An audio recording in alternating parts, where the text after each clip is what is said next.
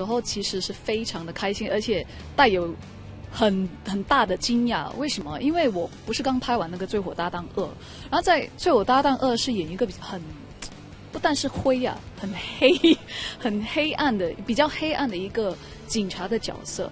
所以这一次他们愿意呃，就是愿意 cast 我，in spite of 那个 association，我是觉得比较惊讶的，因为我我那时候是觉得说哦。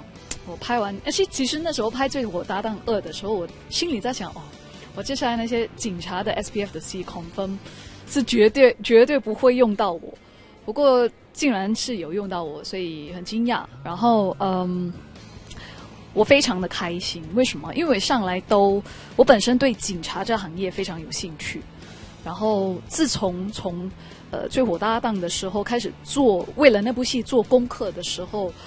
呃，我就一直都有关注到 crime 跟警察的这个范围的东西，所以这一次有机会看到他们真正的那个工作那个过程啊，就解决一个案件的过程，我就觉得非常的兴奋，有点像小孩子的那种，有一点这样子的心态啊。